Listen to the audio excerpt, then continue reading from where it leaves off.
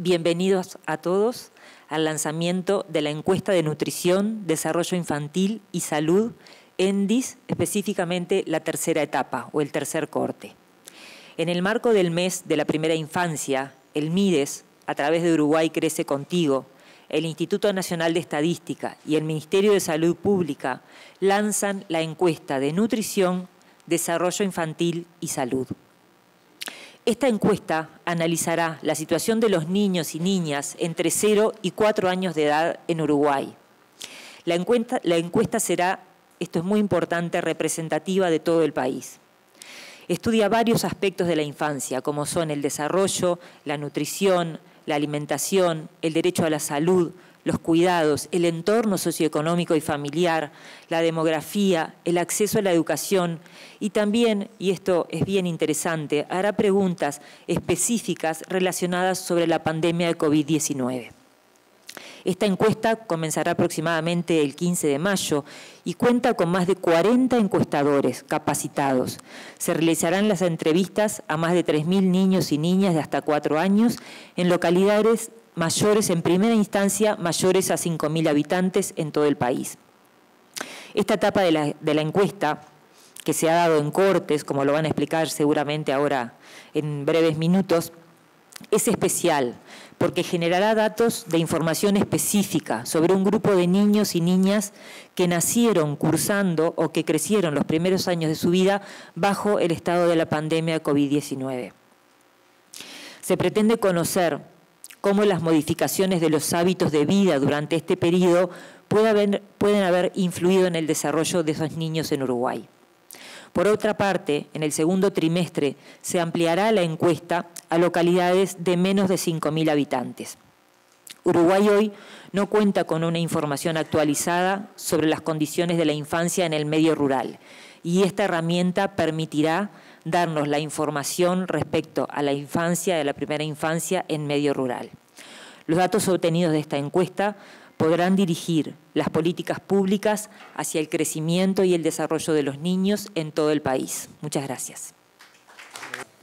Eh, saludar a la subsecretaria del MIDES, a la directora de Desarrollo Social, a todo el equipo de Uruguay Crece Contigo, que siempre hemos manifestado el orgullo que tenemos por contar de un equipo que, siempre entendemos que está muy calificado, tanto desde el punto de vista humano como desde el punto de vista profesional, que es fundamental cuando nos reunimos a tocar estos temas con la sensibilidad que tiene la primera infancia. En este caso estamos presentando un instrumento que nos gusta destacar varias cosas. Lo primero del tiempo que viene el instrumento, que es del año 2013. Como bien detallaba tanto Karina como Diego, se hizo una índice en el año 2013, otra en el año 2018 y ahora estamos por la tercera edición.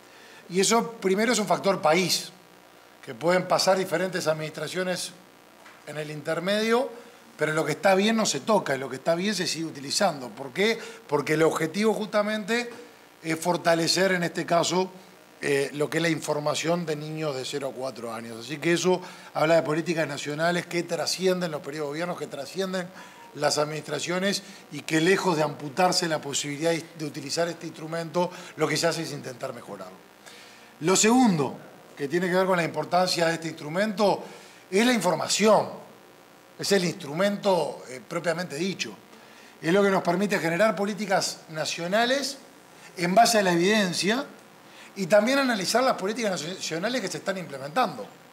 La información no solamente es para proyectar lo que se viene, la información también es para hacer un relevamiento de lo que se viene haciendo.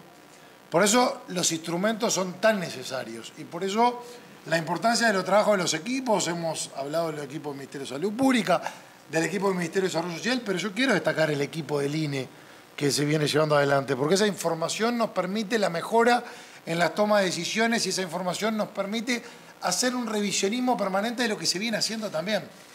Siempre insistimos en, en el interior del MIDES, no nos enamoremos de las acciones, enamorémonos de las causas. La causa es lo más importante, el objetivo final es lo más importante, los destinatarios son lo más importante.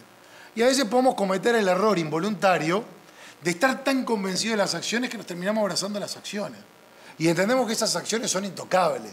Y tenemos que, que esas acciones hay que mantenerlas. Y hay que ver si hay que mantenerlas. Y miren que no estamos hablando de las administraciones pasadas, estamos hablando de las nuestras. Porque se han tomado medidas en base a evidencias que, entre otras cosas, se desprenden de la ENDIS. Cuando se analiza la ENDIS de 2018, se cruzan los datos con el 2013 y ahora vamos a tener los datos de 2023, es que una cantidad de medidas que venimos, me habían dicho y yo estoy incumpliendo de hablar cerca del micrófono, pero se dan una cantidad de medidas que nosotros queremos ver con el tiempo qué tan eficientes son en las tres áreas que se, que se detallaban, que vaya si tendrá importancia, el desarrollo, la salud, el estado nutricional de niños de 0 a 4 años. Y hay una cantidad de medidas que se vienen llevando adelante, algunas que se mantuvieron, porque estaban bien, y por eso hay que mantenerlas, y otras que se fueron implementando. Y queremos ver qué impacto tiene en el resultado de este instrumento. Medidas que hemos presentado en algunos casos en el marco del lanzamiento del mes de la primera infancia, pero siempre es bueno repasarla porque ahí vemos un marco cuantitativo de destinatarios que ahora tenemos que ver el marco cualitativo del desarrollo que se da a través de diferentes medidas. Cuando hablamos del bono crianza, que es una prestación destinada a niños de 0 a 4 años y mujeres embarazadas en hogares de situación de vulnerabilidad, enfocadas justamente en la alimentación, en higiene personal y en la limpieza del hogar, en donde son 30.034 beneficiarios que se tiene a nivel país, pero queremos ver qué resultado y qué impacto directo se tiene. Cuando se da el refuerzo de asignaciones familiares de plan de equidad en niños de 0 a 6 años, una franja mayor, pero que también repercute directamente en niños de 0 a 4 años donde está focalizada la ENDIS, queremos también el impacto. Acá estamos hablando de 146.000 niños a nivel país. Cuando hacemos referencia al bono social Mides UTE, que tiene que ver con la accesibilidad a los servicios y también con el concepto de inclusión, queremos que ver qué impacto se tiene, aparte del cuantitativo, que estamos hablando de 32.354 niños de 0 a 4 años, queremos saber cómo repercuten ese tipo de medidas. Y por otro lado, cómo repercuten otras medidas que no tienen una característica vinculada a lo socioeconómico directamente, pero que sí en algo tan importante como es el acompañamiento, que es algo adicional, pero que en realidad es lo que le da mucho más sentido, que no solamente se tratan de prestaciones económicas, sino que va mucho más allá. Son prestaciones sociales, pero para ser tales es necesario el apoyo, la inclusión y la accesibilidad de los servicios como estar. Y el Ministerio está buscando mayor presencia en la línea de acción. Cuando se aumentó un 50% el personal trabajando en los hogares, se permite, entre otras cosas, haber accedido a 54 localidades del interior del país, adicionales a las que durante un tiempo se fueron trabajando. Eso también es importante si hay una repercusión y tener la fotografía, o mejor dicho, el análisis de la película que se va a determinar a través de este instrumento. Por otro lado, cuando se potencian 28 barrios de la zona este y la zona oeste de Montevideo, también queremos ver qué impacto y qué repercusión se tiene.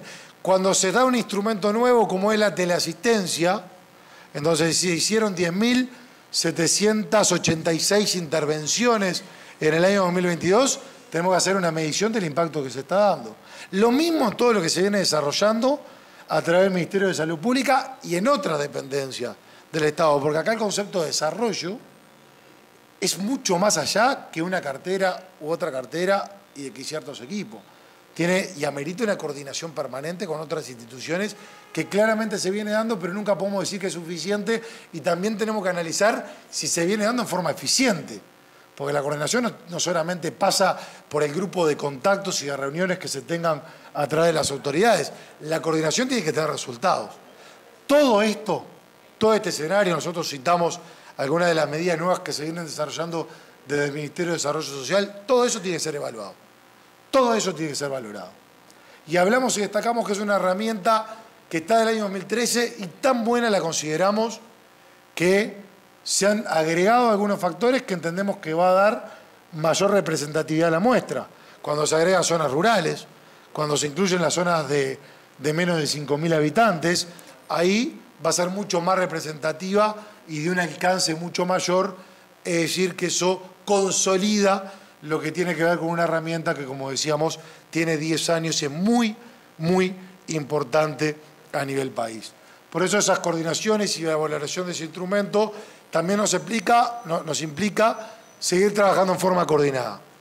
Y el trabajo en forma coordinada en lo que tiene que ver con primera infancia, lo que nos va a permitir a los equipos, lo que van a permitir a las autoridades, pero principalmente lo que le va a permitir al país es nada más ni nada menos que poder apastar a una mejor sociedad en el país que se viene. Muchas gracias.